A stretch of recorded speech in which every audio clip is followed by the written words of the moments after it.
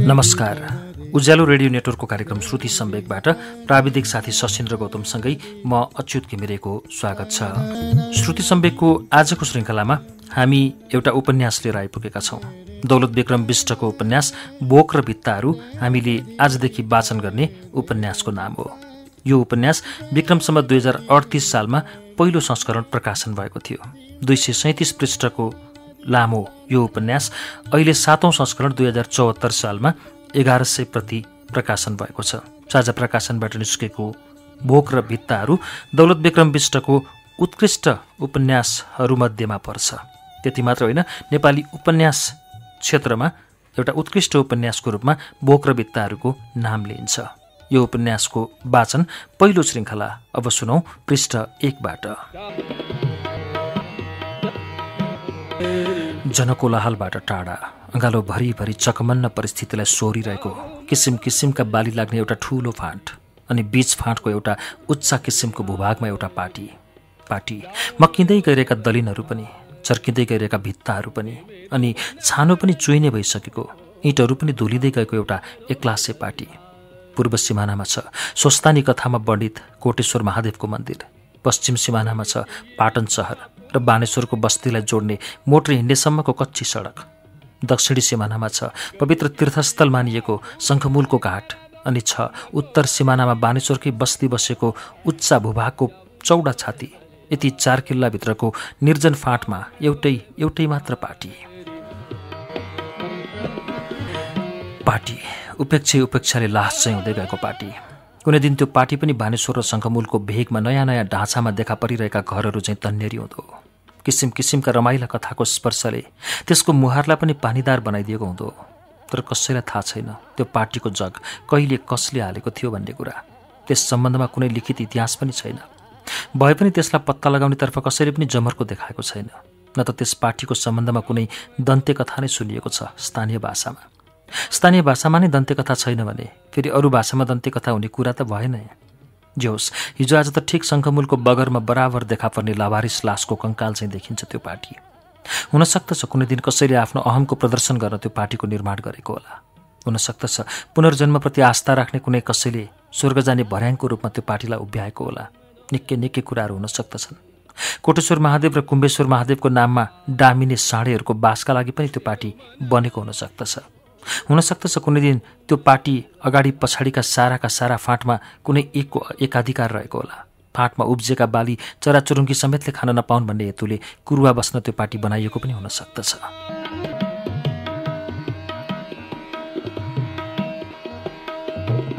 सुनिन्छ पूर्व पहाडबाट कुम्भेश्वर महादेव र बगलामुखी भगवतीको दर्शन गर्न उपत्यकामा ओर्लने यात्रुहरू त्यो पार्टीमा बास बस्ने गर्थे अरे पश्चिम पहाडबाट कोटेश्वर महादेव र छिन्नमस्ता भगवतीको दर्शन गर्न उपत्यकातिर झर्ने यात्रीहरूले पनि त्यो पार्टीमा रात काट्ने गर्थे अरे। भरिया र ढाक्रीहरू पनि बराबर त्यो पार्टीमा चुलो बाल्ने गर्थे अरे। अगाडिको फाँटमा काम गर्ने खेताला खेताल्नीहरू पनि त्यो पार्टीमा ओत लाग्न जान्थे अरे झरीको याममा। तर आजभोलि भने त्यो पार्टी बुताहा पार्टीको नामले सम्बोधित हुँदै आइरहेको छ। त्यो पार्टीमा एउटा डरलाग्दो किसिमको भूत बस्ने गर्छ अरे। कोटेश्वर भेगका गाउँले किसिमका जिब्राहरू पनि त्यसै भन्छन् र बानेश्वर भेगका गाउँले जिब्राहरू पनि त्यसै भन्छन्। हिजो राति त कोटेश्वर भेगको एउटा पाराले घरमा त्यो पार्टीको भूत दपाउन भूत झाँक्री दाईले थाल ठटाएर छुट्टी। कुरो के परेको रहेछ भने पाटनबाट दुईजना ठिटा रातिको सिनेमा हेरी त्यही बाटो फर्केका रहेछन्। त्यो पार्टीनिर आइपुगेपछि त भूतको डरले उनीहरूको आङ ढक्क फुलेछ। फेरि त उनीहरूले एउटा अजङ्गको छाया देखेछन्। त्यो पार्टीनिर ठिङ्ग उभिएको। अब भो सातो पुत्लो उडेछ बिचराहरूको। खेत्दै खेत भागे। घर पुगेपछि त छाड्नु र छेर्नु पो गर्न थालेछन्। एउटाले त गाँठे रगत पनि बान्ता गरेछ। वस्तुत त्यो छाया भूतको होइन एउटा ठिटोको थियो जो बास बस्ने अभिप्रायले त्यस दिन राति बरालिँदै आइपुगेको थियो पार्टीमा। सोह्र वर्ष अघि ठिक सोह्र वर्ष अघि त्यो पार्टीमा पनि घर गृहस्थीको छनक चाहिँ छनक बिम्झाइदिएका थिए हर्के साइला र उसकी स्वास्ने जुनेले लामो निकै लामो समय बितिसक्यो। यसबीचमा त्यो पार्टीमा फेरि कुनै जुने देखिएकी छैन। न त हर्के साइला नै देखिएको छ। कोही कोही त शङ्का पनि गर्छन् त्यो पार्टीमा देखिने भूत हर्के साइला हो भनेर। फेरि कोही शङ्का गर्छन् त्यो भूत हर्के साइलाको होइन बरु उसकी स्वास्नी जुनेको पो हो भनेर। तर त्यो भूत हर्के साइलाको हुँदै होइन किनभने हर्के साइला त्यो पार्टीभन्दा ठिक तिन माइल पश्चिमतिर टुँडीखेल अगाडिको भद्रगोले झ्यालखानामा बाँचिरहेको छ अझै पनि। साँच्ची आज त उसको कैदको म्याद पनि भुक्तान भएको छ। उसको खुट्टाको नेल अघि नै काटिसकेको छ। कैदी साथीभाइहरूसँग बिदाबारी भई झ्यालखानको त्यो यमराजी ढोकाबाट बाहिर निस्कन लागिरहेको छ डाँडा माथि माथि उक्लिँदै गइरहेको सूर्य शिरमाथि आइपुग्न लागिसकेको छ। साराका सारा पर्वत श्रृङ्खलालाई छ्याङ्ग पारेर कुहिरोको धुवा कतै पनि छैन। भएको भए पनि त्यो बिलाइसकेको छ। सानो टोडी खेलमा पड्काइएको तोपको आवाजले बाह्र बजे मध्याहको सङ्केत उडाइदिन्छ। दसैँको अभ्यर्थनाका निमित्त ल्याइएका भेडा चाङ्रा र खसी बोकाका बथानलाई छ्यालव्याल पारेर। यमराजी ढोकाबाट निस्केको हर्के साइला च्यालखान अगाडिको एउटा नाङ्ले पसलनिर उभिन्छ। फेरि बिडी किनेर ऊ सल्काउँछ। बिडीको धुवा उडाउँदा उडाउँदै उसका आँखा लुम्बडी थानभन्दा पनि पछाडिका दृश्यलाई टिप्ने प्रयत्न गर्न थाल्छन् लुम्बडी थानभन्दा पछाडि छ सिंहदरबारको क्याम्प। सिंहदरबारभन्दा पनि पछाडि छ बानेश्वरको बस्ती। तर हर्के साइलाका आँखामा यतिखेर न सिंहदरबार छ न त बानेश्वरको बस्ती नै छ। त मात्र बानेश्वरको बस्तीभन्दा दक्षिणपट्टिको सुनसान फाँटमा बनेको त्यही पार्टी सोह्र वर्ष अघि उसले आफ्नी स्वास्नी झुने र छोरी जुनेलाई त्यही पार्टीमा छाडेको। सोह्र वर्ष अघि आजकै दिन झमक्क सास परेपछि त्यो पार्टीबाट निस्केको ऊ फेरि फर्किएको छैन। त्यतिखेर त्यो पार्टीबाट निस्कनुपर्ने कारणलाई उसले अवश्य झुनेको अगाडि प्रस्ट्याउनु पर्ने थियो। खुलस्त किसिमले प्रस्ट्याउन नसके पनि केही न केही सङ्केत त दिनु नै पर्ने थियो। त्यस दिनभन्दा पहिले पहिले साँझ परेपछि त्यो पार्टीबाट निस्कनु पर्यो भने झुनेलाई नभनी निस्कँदै निस्कन्न थियो। त्यस दिन पनि उसले झुनेलाई भन्ने बारेमा नसोचेको होइन। सोचेको त हो उसले। निकै निकै सोचेको हो।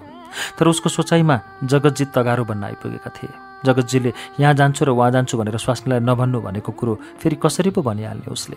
सम्भवतः जुने पनि चकित भएकी ओली त्यस दिनको अर्कै सैलाको व्यवहारमा।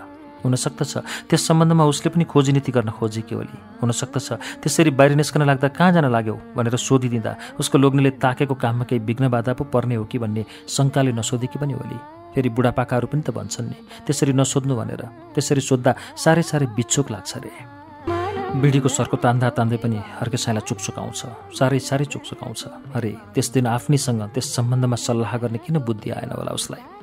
आफूलाई त मूर्ख ठान्दैन थियो चलाख नै ठान्दथ्यो त्यस दिन सल्लाह साउती भएको भए अवश्य पनि उसकी स्वास्नीले उसलाई बाहिर निस्कन दिँदैन थियो अले। बाहिर निस्कन दिइहाले तापनि त्यस सम्बन्धमा विचार गर्न सघाउ पुर्याउने थियो अले। जे होस् उसकी झुने उसको त्यो काँडेदार बाटोमा पर्खाल बनेर उभिन्थे उभिन्थे। त्यो पर्खाल फोर्ने हिम्मत निश्चय पनि हुँदैन थियो उसलाई। फेरि त बिछुडिनु पर्ने थिएन उसले झुने र जुनेसँग। भोग्नुपर्ने थिएन उसले जालखानभित्रको उराट लुच्नुपर्ने थिएन उसलाई आफ्नो मासु आफैले। जालखानभित्र साङ्ग्रिएको जीवनमा उसले बाँचिएका सम्भावनाहरूलाई सयौँपल्ट कोट्याएको छ हजारौँ हजारौँपल्ट कोट्याएको छ र लाखौँ लाखौँपल्ट कोट्याएको छ। हरेकपल्ट ऊ थक्क थक्क भएको छ जगतजीको इच्छा शक्तिको विरोध गर्न नसकेकोमा। हो उसलाई लुलो बनाएको थियो उसलाई जगतजीले आफूका नोकरीमा राखेर। उसलाई लुलो बनाएको थियो। उसलाई जगतजीले तिन सय रुपियाँ ऋण दिएर र त्यो पार्टीमा आफ्नो अधिकार कायम गर्ने अधिकार स्थानीय पञ्चायतबाट दिलाएर। तर त्यत्तिकै कारणले त लुलिनुपर्ने होइन नि ऊ। हो उसलाई जगतेले घाँस बाँस दियो अरे। सित्तै त दिएको होइन नि। अर्के साइला र झुनेले पाखुरा बजाउने गरेका थिए र पो दियो। चार चारवटा भैँसीलाई दुईजनाले मात्र स्याहार सुसार गर्नु ठट्टाको कुरो पनि त होइन नि। चार चारवटा भैँसीका निम्ति भारीका भारी घाँस काट्नु। चार चारवटा भैँसीलाई एकैपल्ट बागमतीमा आहाल खेलाउन लैजानु। भकारो सोर्नु दुध दुहुनु अनि चान्चुने मान्छेले सक्ने कुरा होइन। त्यो स हर्के साइला र झुने जस्ती फलामी मान्छे थिए र पो त्यत्रो विधि काम सम्भव भयो। नत्र त गाँठे भयो त्यस्तो हुँदाहुँदै पनि ऊ फेरि किन उसको अगाडि लुरुक्क परेको होला? उसको स्वरसँग किन पो विद्रोह गर्न नसकेको होला? उसको याकुला पनि त सानो होइन त फेरि। त्यो घायल प्रश्नलाई झ्यालखानको जीवनमा हर्के सैलाले जति तीव्र किसिमले आत्मसात गर्न सकेको छ त्यति तीव्र किसिमले झ्यालखान बाहिरकाहरूले के पो अनुभव गर्न सके होलान् र? उफ चारा फ्याँक्न सक्ने बल पाएका मखुण्डेहरूले हर्के साइला जस्ता दाना टिप्नेहरूको इच्छा शक्ति र स्वाधीनतालाई आफ्नो प्रपञ्चभित्र यति साह्रो किसिमले कैद गरिदिएका छन् कि बात बातमा चिप्लनु त उनीहरू जस्ताका निमित्त नियति नै बन्न गएको छ। आफूले सल्काएको बेडीलाई फ्याँकेर अर्केसाईलाई सचेत हुन प्रयत्न गर्छ। भोलिदेखि त नौरथा पो लाग्ने। साँच्ची यतिका वर्षपछि उसलाई एकाएक आफ्नो अगाडि देख्दा झुने कति खुसी होली झुनेकी छोटी जुने कति खुसी होली। सोह्र वर्ष अघि झुनेर उसले पनि त त्यो पार्टीमा जमरा राख्न तर्खर गरेका थिए। साँच्ची झुनेले जमरा राखे कि राखिन होला ऊ हराएपछि? आहा जाडो र गर्मीको सङ्गम भएको यो असोज महिना पनि कस्तो? लाग्दछ उपत्यकाभरि नै महालश्रीको धुन उडिरहेछ हो। हर्के साइलाको मनभित्र पनि यतिखेर मालश्रीको धुन छ। ऊ त्यो पसललाई छाडेर अगाडि पाइला सार्न थाल्छ। शहीदगिरीबाट छुटेको एउटा बस उसको अगाडिको कोल्टारे सडकलाई थरथराउँदै कुहिकिन्छ। त्यसका पछि पछि छन् दुईवटा जापानी र एउटा इन्डियन कार। त्यस किसिमको दृश्यलाई नदेखेको पनि धेरै वर्ष भइसकेको छ। उस सडक छेउको फुटपाथमा उभिरहनु पर्ने हो। फुटपाथमा उभिएर तारन्तार ओहोरदोहोर गरिरहेका किसिम किसिमका कार र बसभित्रका अनुहारलाई छाम्दै आनन्द लिनुपर्ने हो। तर उसका आँखा सडकतिर होइन त्यही झ्यालखानतिरै फर्किन्छन्। यो झ्यालखान ऊबाट अझै टाढा भइसकेको छैन। त्यस झ्यालखानको अग्लो पर्खाललाई ऊ अझै अनुभव गर्न सकिरहेको छ। त्यस झ्यालखानको अग्लो पर्खालभन्दा पनि अग्ला बुर्जाहरूलाई अनुभव गर्न सकिरहेको छ। बुर्जाहरूमाथि उभिएर कैदीहरूलाई रुङ्गिरहने पहरेदारहरूका हातको राइफल र राइफलमाथिको सङ्गीनलाई अनुभव गर्न सकिरहेछ।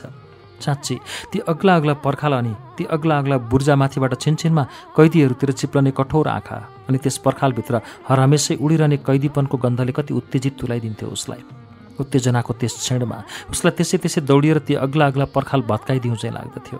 ती अग्ला अग्ला बुर्जा चकनाचुर पारिदिउँ चाहिँ लाग्दथ्यो। अनि उसको छातीलाई घोचिरहने त्यो राइफल चपक्क घुँडामा राखेर भाँचिदिउँ चाहिँ लाग्दथ्यो।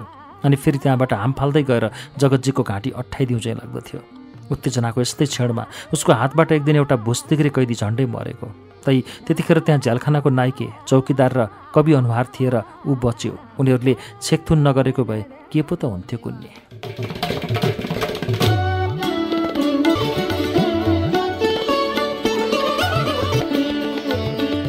त्यस दिनको घटनाको स्मृतिले उसको ओठमा मुस्कान चिप्लन्छ।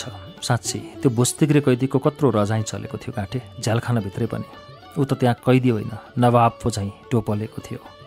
पटके चोरको रूपमा त्यहाँ हुलिएको थियो उसलाई तेस्रो पल्ट चोरीमा तिनपल्ट झ्यालखान परेपछि त चेत बाबा काशी हुनुपर्ने हो। लो भइगयो। पहिलो र दोस्रो पल्ट थोरै अवधिका निम्ति मात्र झ्यालखान ल्याइदिएकाले।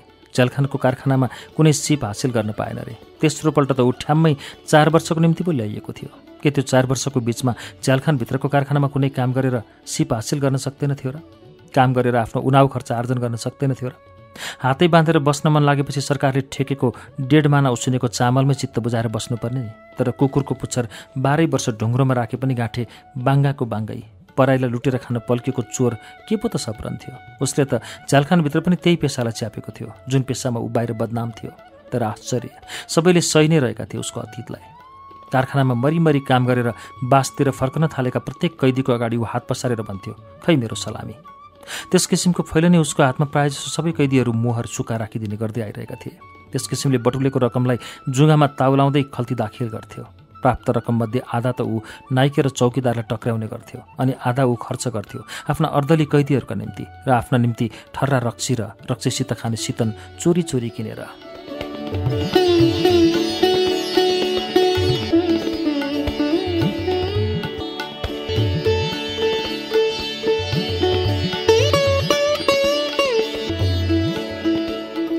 उसलाई सलामी दिने नाइनास्ती गर्ने कैदीहरूको दोहोलो कडाउने थरीथरीका उपाय थियो उसँग।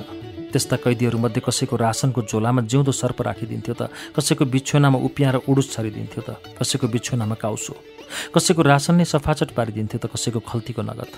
घटना घटेको दिन हर्के साईलाई एउटा कवि किसिमको कैदीको कविता सुन्दै कारखानाबाट फर्किरहेको थियो।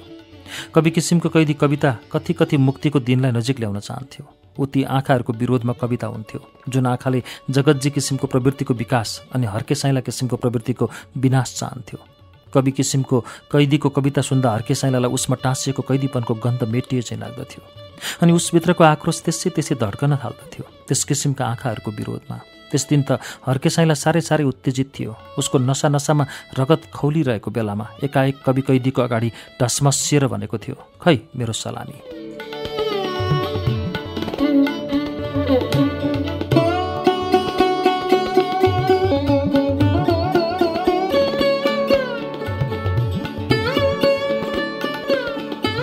त्यो शब्द सुन्नासाथ झनक्क रिस उठेको थियो अर्कै साइलालाई कवि किसिमको कैदीलाई एकाएक आफ्नो पछाडि पारेर भुस्तिग्रे कैदीको स्वरलाई जित्ने कोसिस गरेको थियो उसले आफ्नो स्वर तिखो पारेर।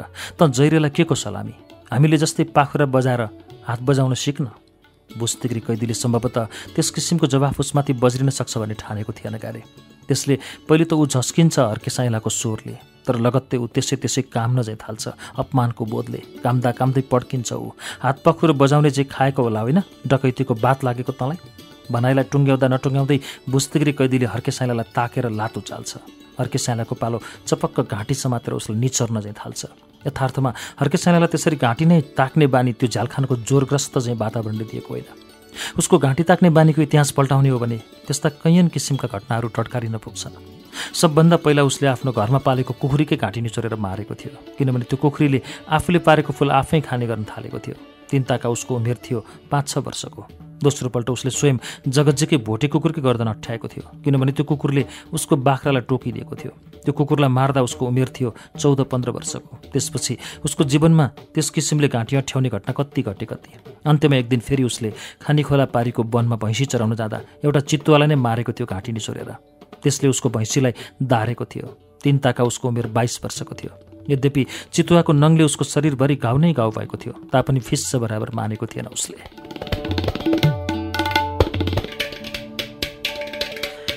यथार्थमा हर्के सैलालाई आवेशको चरम सीमामा भुस्तिग्री कैदीको सलामी भन्ने शब्दले पुर्याएको थिएन। उसलाई त्यो चर्को उत्तेजना त दिएको थियो चोर डाका भन्ने शब्दले। त्यसै गरी उसले भुस्तिग्री कैदीको घाँटीलाई नाइके चौकीदार अनि स्वयं कवि कैदीले थुनछेक गरेकाले पनि छोडेको थिएन। ती तिनैजनाको संयुक्त शक्तिले किमार्थ पनि नपुंसक तुल्याउन सक्ने थिएन उसको समयलाई उसको हातको शक्तिलाई त नपुंसक तुलाइदिएको थियो उसकी स्वास्नी झुनेर छोरी जुनेको सम्झनाले। ऊ त्यो भुस्तिग्रे कैदीलाई समाप्त गरेर फेरि आफ्ना जहान परिवारसँग भेट गर्ने सम्भावनालाई नष्ट गर्न चाहँदैनथ्यो। उनीहरूप्रतिको उसभित्र सुरक्षित लोभलाई त्यतिखेर छर्लङ्ग देख्न सकेको थियो उसले। भुस्तिग्री कैदीलाई छाडेपछि आफ्नो कोठाभित्र पछि गमरङ्ग मुख छोपी घन्टौँसम्म सुतेको थियो। त्यस दिन उसले खाएको पनि थिएन। कवि अनुहारको कैदीले भन्दा पनि उसले खाने जमरको देखाएको थिएन। जाति नै भयो। उसको हातबाट हत्या नभएको पनि। त्यस दिन उसको हातबाट हत्या भइहालेको भए कि त्यो हत्या ऊ स्वयंको हत्या हुने थिएन। तत्कालै उसको बुद्धिसम्म चेतनाले त्यो नाङ्गो सत्यलाई भले नसमातेको होस्। तर त्यस किसिमको आवेशमाथि थक्क थक्क भएको थियो। ऊ स्वाभाविक स्थितिमा ओर्लिएपछि त्यो भुस्तिगिरी कैदी पनि उसकै वर्गको मान्छे हो। त्यसको पनि नियत बनिसकेको छ। धोकै धोका खानुपर्ने र बेजती नै बेजती सहनुपर्ने कुरा स्वयं हर्के साइलाकै जस्तो। भुस्तिगिरी कैदीको अन्तर्कथा स्वयं हर्के साइलाकै जस्तो अन्तर्कथा न हो। त्यसै गरी हर्के साइलाको अन्तर्कथा भुस्तिगिरी कैदीको जस्तो अन्तर्कथा न हो। ती दुवैजनाको जेल जीवनका कारण तिनै आँखाहरू नहुन् जुन आँखाले तेल झिक्छ मान्छे मान्छेलाई कोलमा तोरी झैँ पेलेर। साँच्चै ती आँखाले हजारौँ मान्छेलाई कोलमा पेलिसकेको छ लाखौँ लाख मान्छेलाई कोलमा पेलिसकेको छ र करोडौँ करोड मान्छेलाई कोलमा पेलिसकेको छ। त्यसैले मान्छे नै पो कहाँ देखिन्छन्? अब मान्छेको रूपमा त देखिरहेछन् कङ्काल। साँच्ची हर्के सैलाका जस्ता अन्तर्कथाले त कारागारभित्र पनि त्यस किसिमका आँखाहरूको विरुद्धमा बल सञ्चय पो गर्नुपर्ने थियो।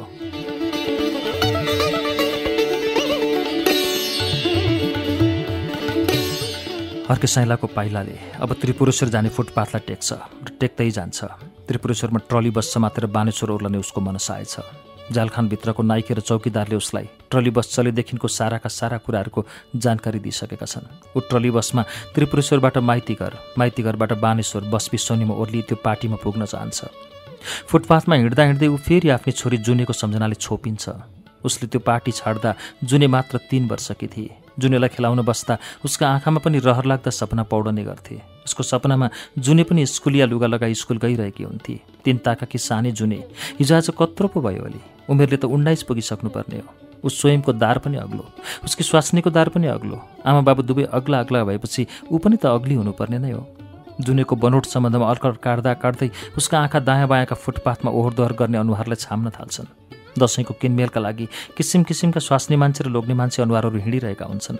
कुनै कुर्ता सलवार लगाएका स्वास्नी मान्छे कुनै मिनिस्कर्ट र म्याक्सी लगाएका स्वास्नी मान्छे कुनै सारी त कुनै प्यान्ट लगाएका स्वास्नी मान्छे। उसकी छोरीको जन्म पहाडमा भएको भए तापनि संस्कार त काठमाडौँकै पाएकी छे। सडकमा देखिएका यी फेसनहरूमध्ये कुनै एउटा फेसनलाई उसकी छोरीले पनि त समातेकी होली। एसएलसी त पास गरेकै हुनुपर्छ उसले पनि। जुनेलाई पनि छोरीलाई पढाउने असाध्य रहर थियो। उसले आफ्नो आमा चाहिनेको हुलिया पनि त साटिदिएकी होली।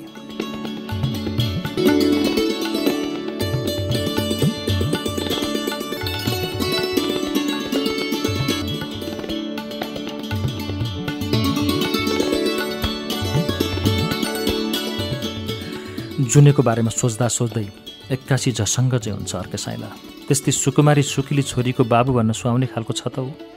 ऊ शङ्कै शङ्काको दोभानमा उभिन आइपुग्छ। कतै चोर चोर भनेर दबाइने खालको त छैन ऊ।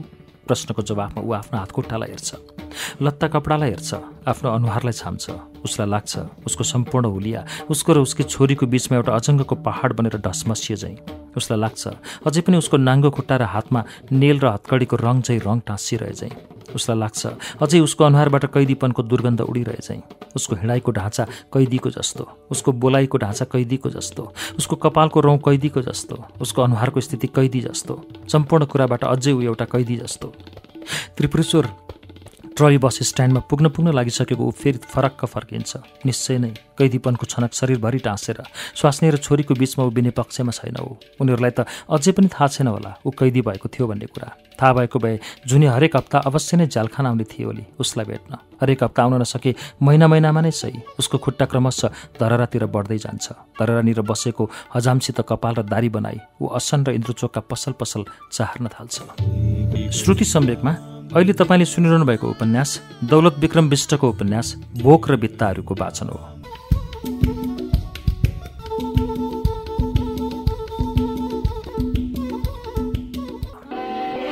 साँझ झर्दा नझर्दै आफ्नो हुलियालाई लाउरेको चाहिँ हुलियामा साटिसक्छ अर्के साइलाले।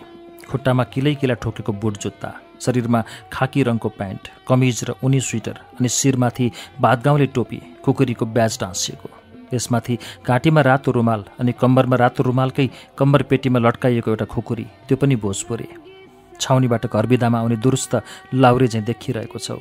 लाउरीपनको हुलियाले निश्चय नै उसको खुट्टालाई निरन्तर नेलले जकडिरहेको खुट्टामा टाँसिएको कैदीपनको छनकलाई यतिखेर मेटिदिएको छ। ऊ लाउरी जस्तै देखिएको छ। युद्धका भोगहरू भोगेर आएका लाउरीहरूको छनक चाहिँ छनक बिम्जान उसको खुट्टाले गति सफल भइरहेको छ। उसको हातले पनि गत गति सफल भइरहेको छ। र उसको सम्पूर्ण व्यक्तित्व नै लाउरीपनको बासना उडाउन सफल भइरहेको छ। कैदीपनको रोग यतिखेर न उसको अनुहारमा देखिन्छ न त उसको चालढालमा नै। उसको आँखा रित्तोपन पनि देखिन्छ। न उसको शरीर अत्याचारले खोक्रो एवं खोक्रो भए झैँ नै प्रतीत हुन्छ। न त आफ्नो स्वत्वमाथि निरन्तर बलात्कार गरे झैँ नै प्रतीत हुन्छ उसलाई अहिले।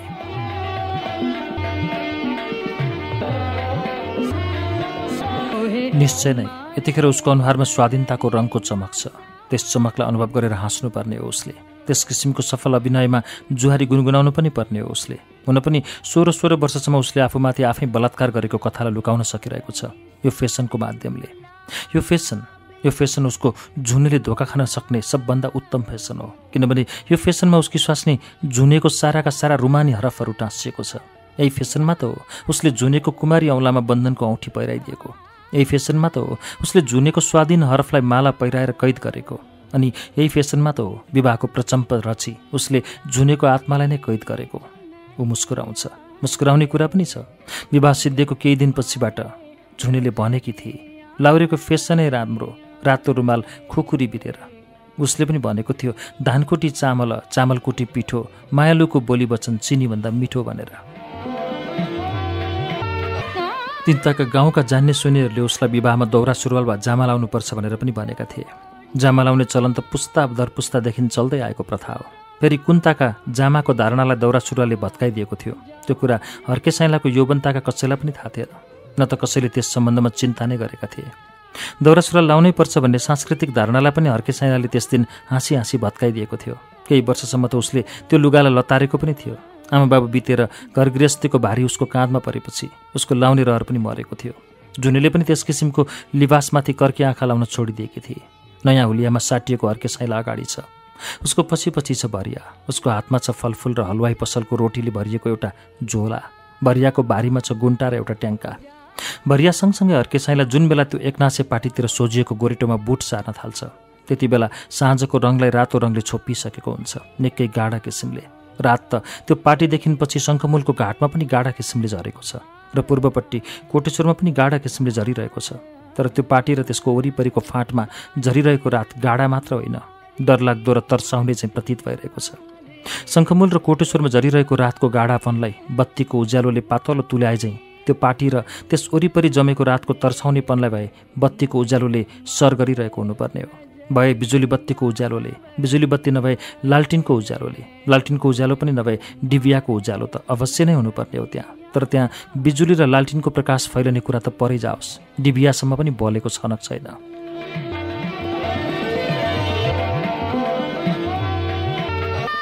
अर्कै साइलालाई ऊ स्वयंमै रात रोकिएर तर्साउने भए चाहिँ लाग्न थाल्छ।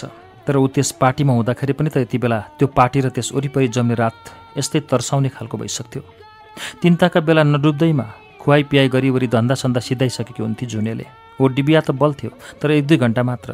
बत्ती निमाएर दुवै जोइ पोइ त्यतिन्जालसम्म गुनगुन कुरा गरिरहन्थे जुन बेलासम्म उनीहरूलाई निद्राले छोप्दैनथ्यो रातको नौ बज्दा नबज्दै फसी फसी निदाइ पनि हाल्थे।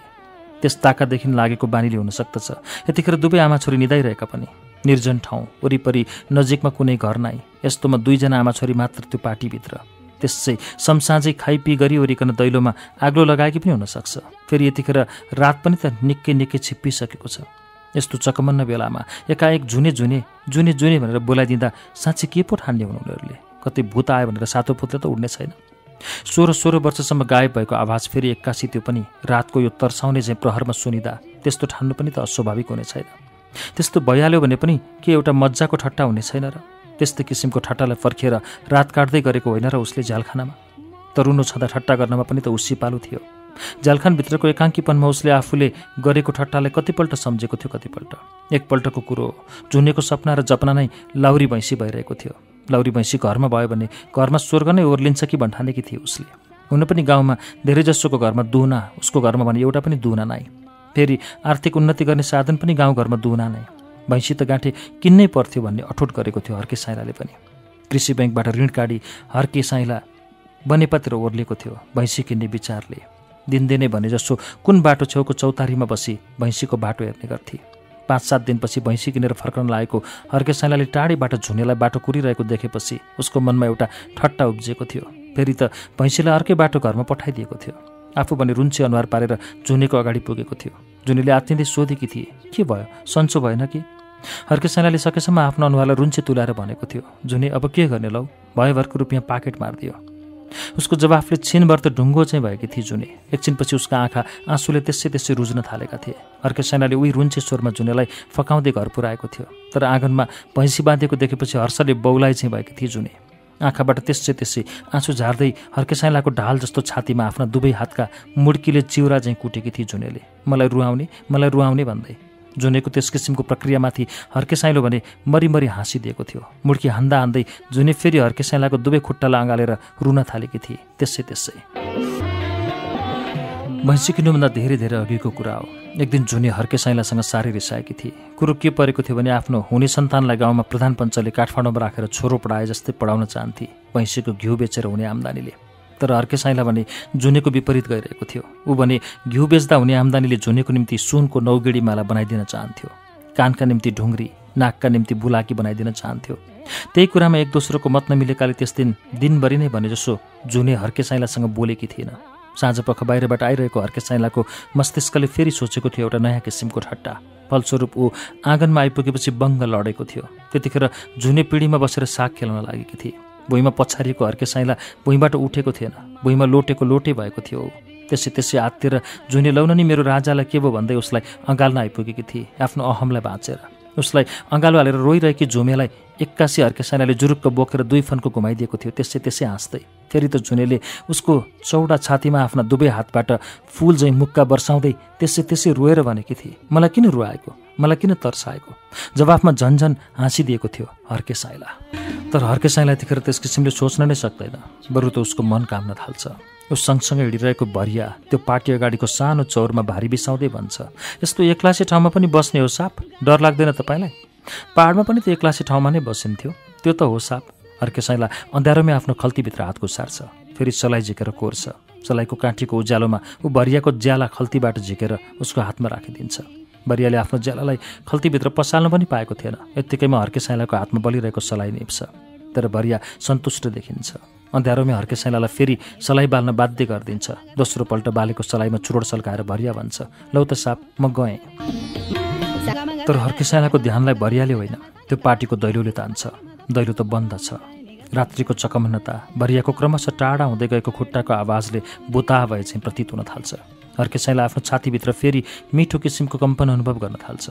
जुनीलाई उठाउने उद्देश्यले हर्केसाईलाई अब त्यो बन्द दैलोलाई कचकचाउन थाल्छ तर उसको त्यस किसिमको प्रक्रियाले भित्र कुनै किसिमको प्रतिक्रिया उत्पन्न गर्दैन।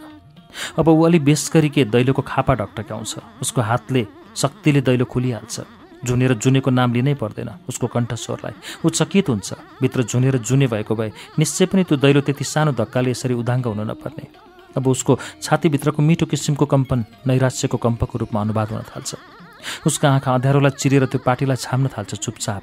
बाहिरभन्दा भित्रको अँध्यारो झन् गाडा छ। तर त्यहाँ कोही पनि छैन भन्ने कुरालाई कसरी पो विश्वासले लिने उसले। भर्खर भर्खर उसको कर्ण कुहरले मान्छेको फेरेको निश्वासलाई छामेको छ। त्यो उसको भ्रम होइन। उसलाई विश्वास छ। तर आश्चर्य त्यो विश्वासले त्यतिखेर के हो भन्ने शब्द निकालिसक्नुपर्ने हो। ल भइगयो त्यो निश्वास गाढा निद्रामा परेको होला अरे। फेरि पनि त चलमलाउनु पर्ने उल्टे कुल्टे गर्नुपर्ने र उसका नारीका चुरा बज्नुपर्ने त्यति पनि नभए सन्तास मुछिएको स्वर त्यतिखेर त्यो पार्टीभित्र अवश्य नै चित्कारिनु पर्ने हो। अर्कै साइलाई सलाई झिक्ने विचारले फेरि आफ्नो प्यान्टको खल्तीभित्र हातको सार्छ दिउँसो उसले कालो ट्याङ्का किन्न बिर्सेको थिएन। आफ्नो स्वास्नी र छोरीका लागि सारी पेटीकोट चोला खास्टा अनि चुरा र धागाहरू समेत किन्न बिर्सेको थिएन।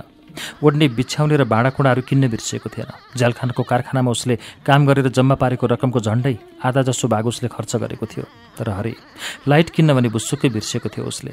लाइट भएको भए पनि क्या जाति हुने थियो गाँठी? ऊ चुकचुकाउन थाल्छ। ऊ फेरि सलाई कोर्छ। सलाइको उज्यालोले भेटेसम्म ऊ फेरि त्यो पार्टीभित्रको दृश्यलाई छाम्न थाल्छ। निश्चय नै त्यहाँ जुने पनि छैन र जुने पनि छैन। ती दुई आमा छोरी त्यहाँ बस्थे भन्ने कुराको अलिकति पनि लक्षण छैन। त्यो पार्टी रित्तो छ। साह्रै साह्रै रित्तो छ। छ त खालि कसिङ्गरको थुप्रो र माखुराको जालो तर पनि त्यो नाङ्गो सत्यलाई पत्यार गर्न नचाहे चाहिँ अर्के साईलाई फेरि र फेरि पनि सलाई कोर्छ। जतिसुकै सलाई कोरे पनि उही रित्तो दृश्य चुरा छन छन छन छन्काई उसले ल्याएको ट्याङ्का खोतल खातल गर्ने हात देखिँदैन। अनुहारभरि निस्सारताको पोतो लिएर अँध्यारोमा टकटकी बाँधिरहन्छ। ऊ